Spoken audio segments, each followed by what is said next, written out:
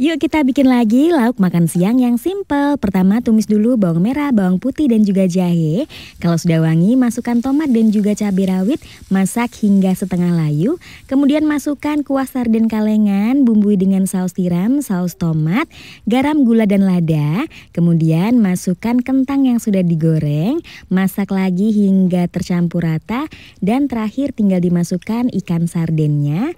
Lalu kita masak hingga matang. Nah, sudah jadi tumis sarden kentangnya untuk makan siang enak banget dimakan dengan nasi putih.